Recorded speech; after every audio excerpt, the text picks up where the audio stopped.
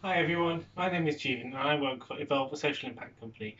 And my video today is just a quick video to give you an idea of sort of things you can do during lockdown. So the idea behind this activity is currently there's lots of anxiety and anxiousness that we can't actually go out and meet friends. We're all stuck at home, not able to complete the daily activities and things that we'd like to do and enjoy. So this activity is for you to be able to come up with a list of ideas and activities you'd like to do after lockdown so it gives you something to look forward to. So this one is a things to do jar as shown here. For this activity you will need a pair of scissors, some card, a pen and ideally an empty jar which you will begin to fill.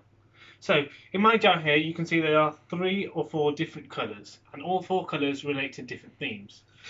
Some green cards relate to some food places I'd like to eat at. So yellow card is to do with some activities I'd like to do with my family.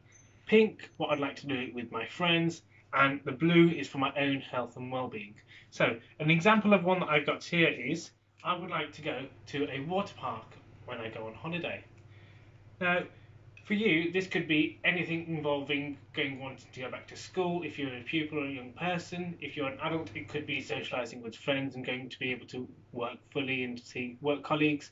And the idea is for you to be able to fill this jar as much as possible during this time, so that after lockdown you have activities and ideas that you can enjoy. I hope this is something that you will be able to take on board and you'd have a go at. And if you do want to show and share these, please feel free to share them with at evolve underscore impact or at Jeevan S. Chagger at Twitter. Thank you.